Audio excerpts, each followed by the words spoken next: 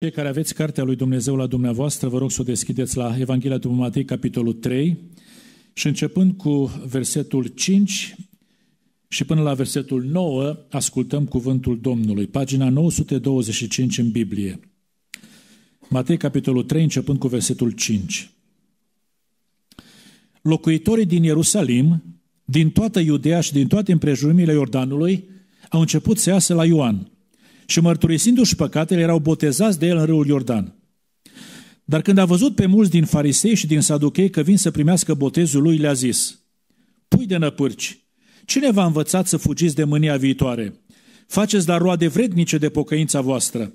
Și să nu credeți că puteți zice în voi și vă, avem ca tată pe Avram, căci vă spun că Dumnezeu din pietrele acestea poate să ridice fiul lui Avram. Amin. Vă invit să ocupați locurile.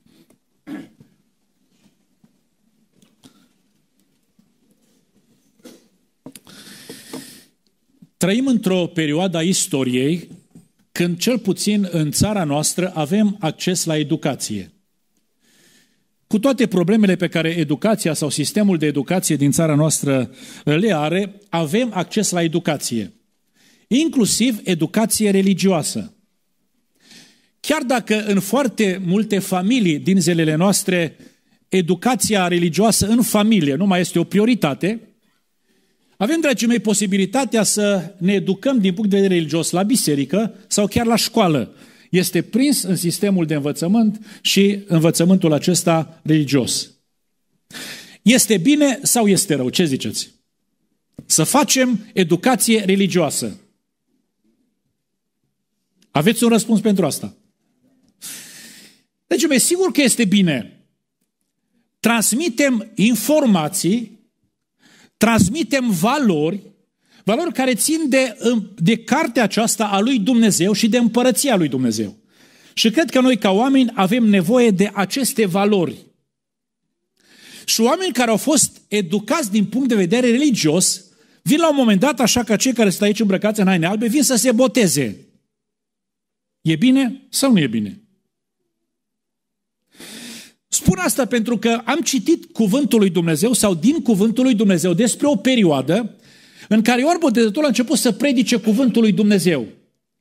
Și oamenii, oameni de rând, au început să iasă la el la Iordan cu grămada, cu mulțimea, să se boteze. Și erau botezate în Iordan. Numai că au venit acolo și niște oameni care erau educați din punct de vedere religios, farisei și saduchei. Au făcut bine că au venit să se boteze sau n-a făcut bine? Sigur că au făcut bine. Numai că Ioan Botezătorul are o stare de vorbă cu oamenii aceștia care veneau să se boteze ca niște oameni care aveau educație religioasă. Și ceea ce vrea Ioan să le spună prin cuvintele poate mai aspre, mai dure, este că educația religioasă nu este suficientă. Despre asta vreau să predic în câteva minute, dragii mei, și apoi să trecem la partea practică botezul cere ceva mai mult decât educație religioasă. E bună educația religioasă, ar trebui să punem accentul și în familie pe educația religioasă, să punem accentul la biserică și în măsura în care ni se dă posibilitatea și la școală, dar botezul în apă cere ceva mai mult decât educație religioasă. Și când stau în fața acestei afirmații, dragii mei, poate uh, ne întrebăm ce anume cere mai mult decât educație religioasă. În primul rând, dragii mei, botezul cere o atitudine serioasă față de cuvântul lui Dumnezeu. Toată experiența asta a botezului din vremea lui Ioan Botezătorul, uh, toată mulțimea asta mare care se ducea la la Ioan, Iordan să fie botezată, dragii mei, mulțimea asta a stat în fața unei predicări. Ioan Botezătorul a început să predice și să spună, pocăiți-vă căci împărăția celui este aproape. Oamenii auzeau și se duceau spre Iordan. Numai că au venit la Iordan oamenii aceștia, educați din punct de vedere religios, care nu aveau această atitudine în botez Ă, luând în serios propovăduirea. Ei se duceau acolo pentru că era o modă să te botezi. Toți oamenii se duceau la botez. Și au mers și ei. Întrebarea mea este, dragii mei, în această dimineață, nu neapărat pentru ei, pentru noi toți. Care este atitudinea noastră față de cuvântul lui Dumnezeu, față de propovăduire, față de predicarea cuvântului lui Dumnezeu? Știți că am putea stăm în fața cuvântului lui Dumnezeu să-l considerăm ceva fără valoare. Adică așa, vorbesc cu oamenii că n-au ce face. E un sistem bisericesc unde se deschide cartea aceasta și n-au ce face. Predică cuvântul lui Dumnezeu. Când uh, Pavel a ajuns în Atena și a început să, să stea de vorbă cu oamenii de acolo, dragii mei, știți ce, a, ce au zis unii dintre ei? Despre ce spunea Pavel? Despre Dumnezeu, despre Domnul Iisus Hristos. Ce vrea și palavrageul acesta. Vorbărețul acesta. Adică lucruri fără valoare, pălăvrăgeală. Și foarte mulți din vremea noastră se uită la cuvântul lui Dumnezeu sau ascultă predicarea, dragii mei, ca fiind o simplă pălăvrăgeală, lucru fără valoare. Alții, dragii mei, consideră lucruri de care îți poți permite să-ți bați joc. Și vreau să vă spun, ați auzit, ați întâlnit, ați ascultat oameni care își bat joc de cuvântul lui Dumnezeu. Ați văzut lucrul acesta? Apar și pe televizor asemenea, asemenea momente când cineva deja și-și bate joc de cuvântul lui Dumnezeu. Zice Sfânta Scriptură în fapte, tot în capitolul 17, că tot cu, cu ocazia aceea când Petru predica în Atena, a vorbit despre învierea morților. Când au auzit unii de învierea morților, își băteau joc. Pentru că nu se poate sui la mintea noastră rațională, la gândirea noastră educată, dragii mei, din viacul acesta, cum se poate uh, întâmpla sau avea loc învierea morților. Și își băteau joc.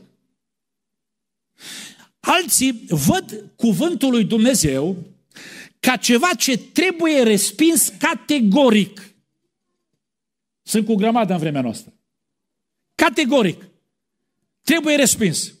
Când Pavel era în Filipii, dragii mei, și a avut loc acolo o experiență uh, când uh, a eliberat pe o, o roabă a unor stăpâni, care era stăpânită de un duc, a eliberat-o, stăpânii aceia au zis, uh, după ce au dat pe, pe apostol pe mâna dregătorului, au zis, oamenii aceștia ne vestesc niște obiceiuri pe care noi romanii nu trebuie nici să le primim, nici să le urmăm. Trebuie să le respingem.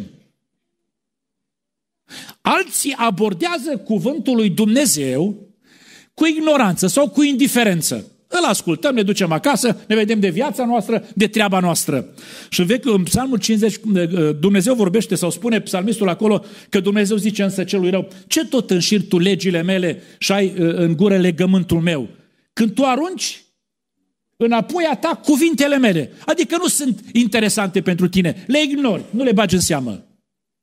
Ei, dragii mei, Educația religioasă nu e suficientă, ci botezul cere ceva mai mult decât educație, cere să ai o atitudine serioasă față de cuvântul lui Dumnezeu. Ce înseamnă această atitudine serioasă?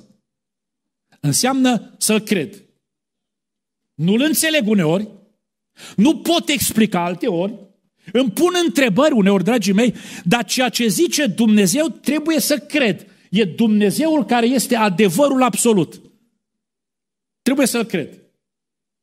Zice Sfânta Scriptură în fapte, capitolul 8, că uh, un famen din Etiopia se ducea de la Ierusalim spre țara lui citind din cartea profetului Isaia, fără să priceapă mare lucru. Și când uh, Dumnezeu a văzut preocuparea lui uh, religioasă, l-a trimis pe Filip și zice Sfânta Scriptură că începând de la, de la uh, pasajul ăsta din Scriptură, Filip l-a propovăduit pe Iisus. La un moment dat a zis, a zis uh, famenul către, către Filip, uite, apă ce mă împiedică să fiu botezat? Știți care a fost răspunsul lui Filip? Dacă crezi. Dacă crezi, se poate. Deci, dragii mei, atitudinea corectă față de cuvânt este să-l cred. Și după ce l-am crezut, să-l aplic în viața mea personală. Și familiul acela a fost, a fost botezat pentru că a luat cuvântul și l-a aplicat în viața lui personală. În ziua cinzecimii, când a fost experiența aceea uh, de la Rusalii, de la Ierusalim, uh, Petru s-a ridicat și a început să propovăduiască, uh, o mulțime de oameni a crezut și spune Sfânta Scriptură că s-au ridicat unii și au zis, bine fraților, ce să facem? Să vă pocăiți, să fiți botezați în numele Domnului Iisus Hristos, veți primi darul Sfântului Duh și cei care au crezut propovăduirea au fost botezați, au aplicat în viața lor ceea ce au crezut. Am auzit recent, chiar foarte recent, pe cineva zicând către altcineva. Tu ai credință în sufletul tău. Dar trebuie să iei credința aceea să o aplici. Că dacă v-aș întreba pe fiecare dintre noastre de aici, din biserică, din sala asta, în această zi, aveți credință? Fiecare zice că aveți credință. Trebuie să iau credința asta și să o aplic. Dumnezeu din cer să ne binecuvinteze. În al doilea rând, dragii mei, botezul cere ceva mai mult decât educație religioasă, cere eliminarea unei atitudini de autosuficiență. Spuneau că au venit oamenii aceștia educați religios. Și oamenii aceștia aveau această părere despre ei înșiși că ceea ce au până la momentul acela este suficient. Noi îl avem pe Avram. Noi ne tragem din Avram. Cum cine era Avram? Nu să știți cine era Avram, nu? Ei considerau că e părintele lor. Că se trag din Avram. Avram era un om al credinței și un om al promisiunilor lui Dumnezeu. Și dragii mei ziceau, dacă avem această tradiție care vine de la Avram, din generație în generație până la noi, și noi ne tragem dintr-un om al credinței, asta ne este suficient. Am citit și poate am mai spus în locul acesta despre un bărbat care avea o mamă foarte credincioasă, foarte evlavioasă și mama lui a murit. Și uh, omul ăsta era foarte convins că din cauza felului în care a trăit mama lui, mama lui va ajunge în cer. Și cineva l-a întrebat și a zis, auzi, mama ta ajunge în cer. Tu când o să mor, unde o să ajungi?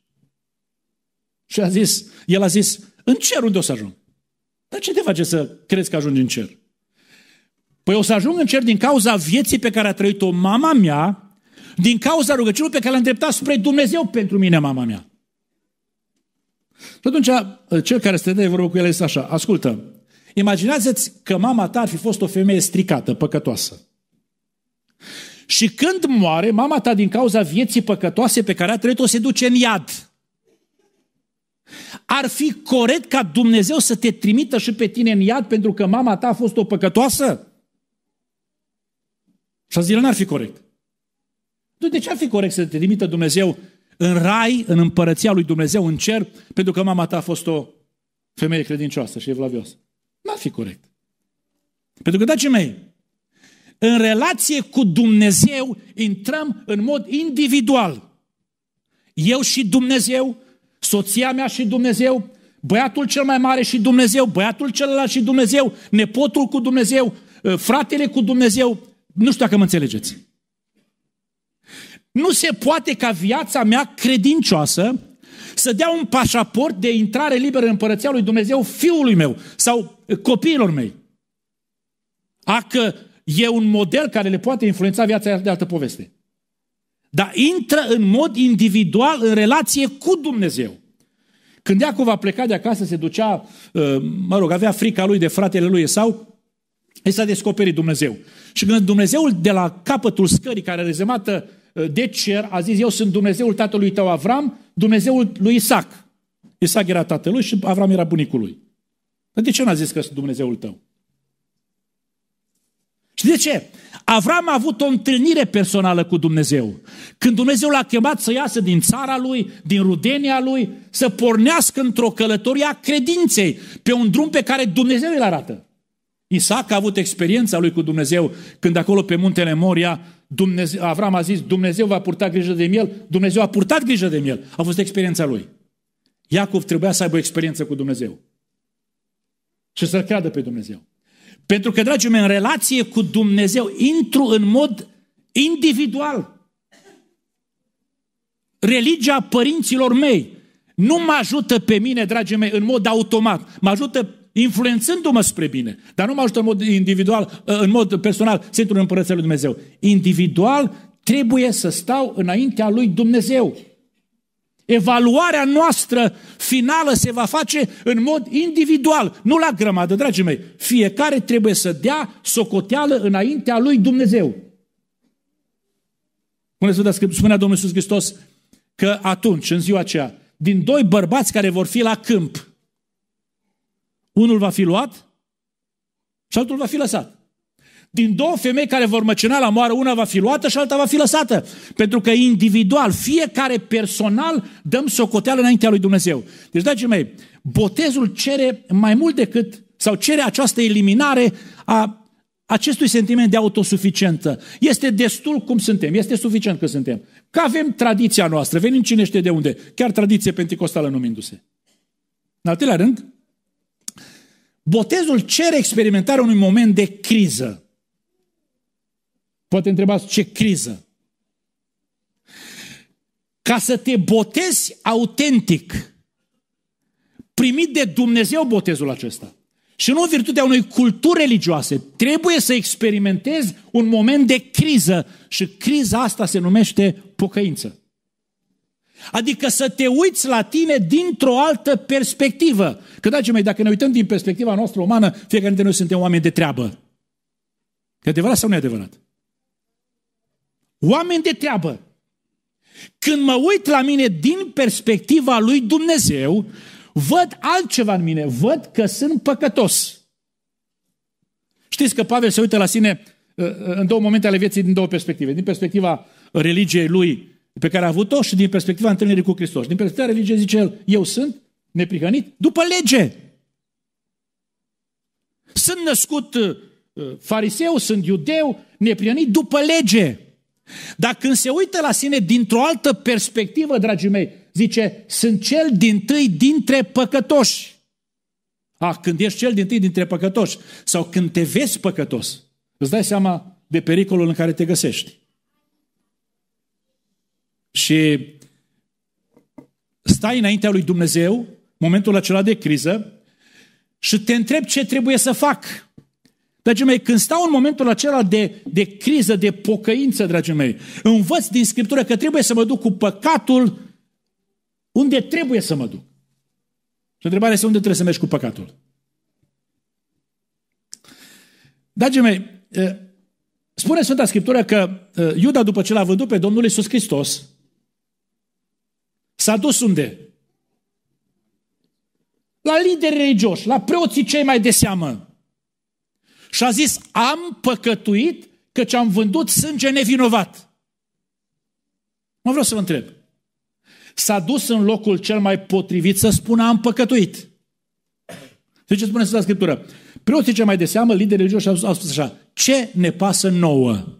Treaba ta. Ce ne pasă nouă? De altă parte, Petru a făcut cam același lucru. Nu l-a dat la moarte pe Domnul Iisus Hristos, dar s-a lepădat de trei ori. A zis, nu știu, nu-l cunosc, n-am fost cu el. Și cântă cocoșul. Vreau să vă întreb. A fost păcat ce a făcut Petru sau nu a fost păcat? Să stai trei ani și jumătate cu Domnul Isus Hristos.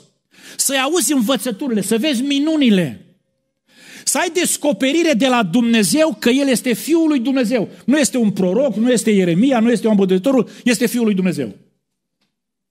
Și de trei ori să spui, nu-L cunosc, n-am fost cu El, nu știu. E păcat, e mare păcat. Numai că atunci când a cântat cocoșul, Petru s-a dus cu păcatul unde trebuie să se ducă. A ieșit afară înaintea lui Dumnezeu.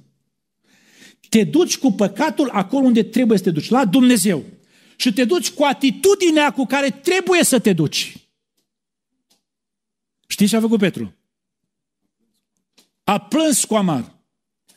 Când Domnul Iisus Hristos a fost invitat în, în casa lui Simon fariseul și a intrat acolo, a intrat și o femeie păcătoasă, spune Sfânta Scriptură, și femeia asta păcătoasă, zicea Domnul despre ea într-un final, păcatele care sunt multe, s-a dus la Isus cu o atitudine potrivită și a plâns, vărsau, îi curgeau lacrimile în jos pe, pe picioarele Domnului, dragii mei, era acolo în acea durere sufletească și cu rușine stătea acolo la picioarele Domnului, dragii mei. S-a dus unde trebuie, s-a dus cu atitudinea care trebuie și te duci cu credința care trebuie. Știți care e credința asta? Că Dumnezeu iartă orice păcat. În Isus Hristos, dragii mei, noi suntem iertați de toate păcatele noastre când venim cu credință și cu pocăință sinceră înaintea lui Dumnezeu. Nu sunt păcate pe care Dumnezeu să nu le poată ierta. Sau prea multe păcate să nu existe soluții la Dumnezeu pentru păcatele noastre. În sângele Domnului Iisus Hristos noi suntem curățiți de toate păcatele noastre. Mă duc un pas mai departe, dragii mei. Botezul cere experimentarea unei schimbări. A zis Ioan către oamenii aceștia, duceți-vă și faceți fapte vrednice de pocăința voastră. Experimentați schimbarea vieții. Că poți să te botezi, dragii mei, oricând în viață, de oricâte ori ai vrea în viață. Dacă n-ai experimentat schimbarea vieții, botezul acela n-are nicio valoare. Duceți-vă și faceți fapte vrednice de pocăința voastră. Schimbați-vă viața, schimbați-vă la nivelul gândirii voastre. Să ne schimbăm la nivelul gândirii noastre. Adică să gândim altfel despre Isus, despre Dumnezeu. Că s-ar putea cine știe ce gânduri năstrușnice să ne fi venit în minte despre Dumnezeu. Pocăință, dragii mei, sau pocăința mă duce la această schimbare a gândirii mele. Trebuie să gândesc despre Isus că este o persoană reală. Nu este ficțiune, nu este imaginație, nu este poveste. Nu știu dacă mă înțelegeți. Saul din Tars era prăbușit acolo în mijlocul drumului și a început să vorbească cu cineva. Nu cu o persoană imaginară, nu cu cineva, dragii mei, care nu există. Și a zis, Doamne, ce vrei să fac? Persoana asta era reală, dătea adevărul cu Domnul Iisus Hristos, dragii mei. Trebuie să, să schimbi această gândire, să ai gândirea aceasta despre Iisus, că este o persoană reală și este o persoană actuală.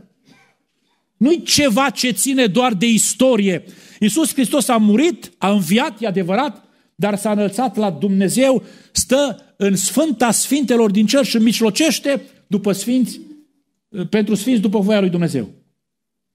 Trebuie să, să mă schimb, dragii mei, la nivelul meu exterior. Vă spuneam ceva despre Saul din Tars.